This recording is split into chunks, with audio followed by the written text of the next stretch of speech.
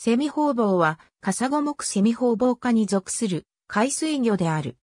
ホウボウと外形と名前が似るが、内部骨格は著しく異なり、別のトガに分類される。インド太平洋の熱帯域に広く分布し、日本でも南日本を中心に見られる。砂泥底を単独でゆっくりと泳ぎ、小型の動物を捕食する肉食魚である。大きな胸びれを持ち、これを広げて滑空するように泳いだり、外敵を威嚇したりするのに用いる。セミホウボウは、カサゴ目セミホウボウ科のセミホウボウ属ダックタラプテナに分類される。名前と外部形態の似た種にホウボウがいるが、内部骨格は著しく異なり、こちらはホウボウ科という異なるトガに分類される。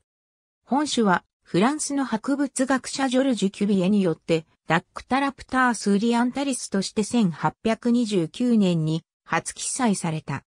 この時本種は西セミホウボウ属ダックタラプタースに分類されていたが、後年セミホウボウ属ダックタラプテナに移されたため、現在有効な本種の学名はダックタラプテナウリアンタリスである。本種は最大で全長40センチメートルに達するが、よく見られるのは20センチメートル前後の個体である。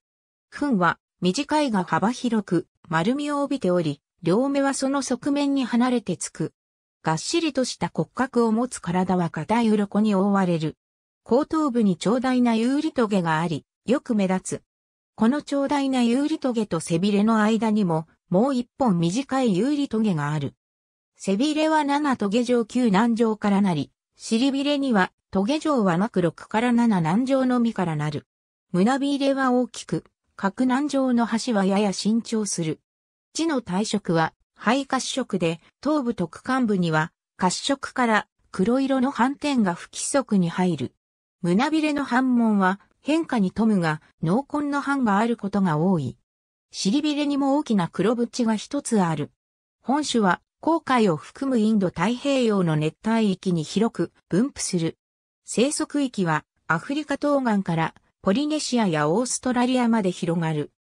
日本においては、青森県以南で記録があるが、南日本を中心に見られ、伊豆諸島、小笠原諸島、琉球列島でも見られる。大陸方の砂泥底、水深10から150メートルほどの場所で見られる。制御は通常単独で海底をゆっくりと泳ぐ。大きな胸びれを広げて海底を滑空するように移動することもできる。その他の時は、胸びれは畳まれているが、大海やサバの仲間、または人間のダイバーなどの外敵が近づくと大きく広げて威嚇する。腹器を使って歩くように海底を移動することでも知られる。幼魚も生魚と同様砂地で見られるが、こちらは時々小さな群れを作ることがある。本種は肉食魚であり、小魚や二枚貝、甲殻類などを捕食する。